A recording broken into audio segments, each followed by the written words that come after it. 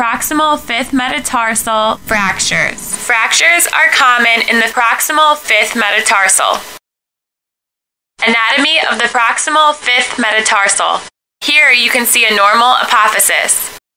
It is usually present between the ages of 9 to 14 years. The apophyseal line runs parallel to the shaft of the metatarsal along its lateral inferior margin of the tubercle.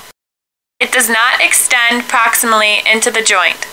The peroneus brevis tendon inserts into the proximal fifth metatarsal base. Here you can see the insertion of the peroneus brevis tendon. Here you can see the os peroneum. Os peroneum is an ossicle in the peroneus longus tendon where it is seen at the tip of the fifth metatarsal base. It is seen in 15% of the population. These are the areas of the proximal fifth metatarsal that may become fractured. There are three types of fractures at the proximal fifth metatarsal. One is an avulsion fracture, two is a Jones fracture, and three is a stress fracture. The proximal fifth metatarsal has been classified into three zones for these fractures.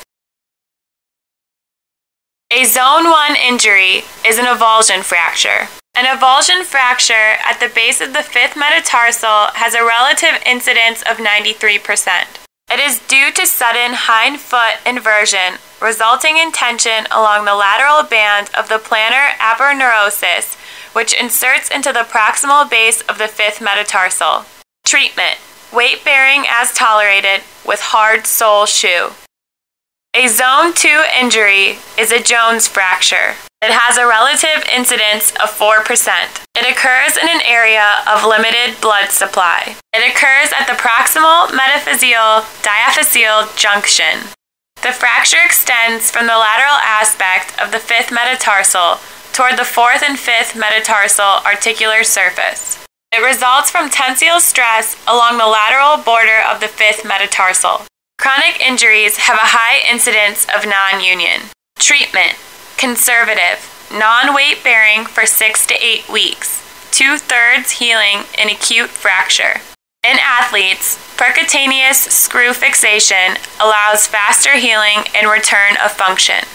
Zone 3 injury, stress, fracture. It has a relative incidence of 3%. It is a proximal diaphyseal stress fracture and is mainly seen in athletes. It occurs in the proximal 1.5 centimeters of the shaft in the fifth metatarsal and results from repetitive cyclic loading. It can occur in a cavovarus foot. Treatment Conservative non weight bearing cast with 50% non union.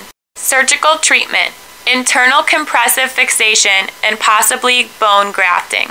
Surgery is performed in athletes and in non union.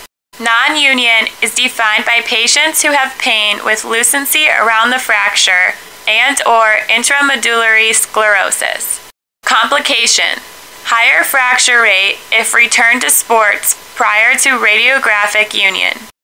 Proximal fifth metatarsal blood supply. Multiple metaphyseal arteries. Nutrient artery with intramedullary branches provide retrograde blood flow to proximal fifth metatarsal. Fractures distal to the tuberosity disrupts the nutrient arterial supply, resulting in relative avascularity. Here you can see the blood supply. The dorsalis pedis artery, the lateral tarsal artery, the fourth dorsal metatarsal artery, and the arcuate artery.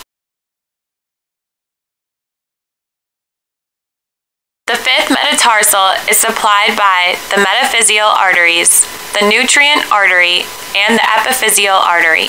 Here you can see the Jones fracture occurring in an area of limited blood supply.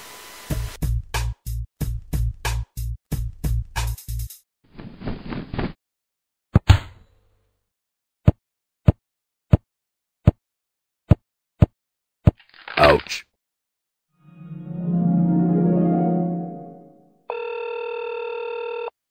Hey, Doc. I was playing soccer. I think maybe I broke my foot. Can you help me? Come right away.